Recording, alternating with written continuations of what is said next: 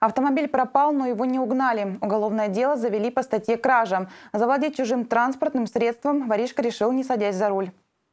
На кадрах с камер видеонаблюдения видно. ВАЗ-2109 взяли на мягкую сцепку и буксируют в неизвестном направлении. Владелец пропажу обнаружил в 8 часов утра и сразу обратился в полицию. В этот же вечер машину обнаружили. Из автомобиля ничего не пропало, а разобрать ее на запчасти злоумышленники не успели.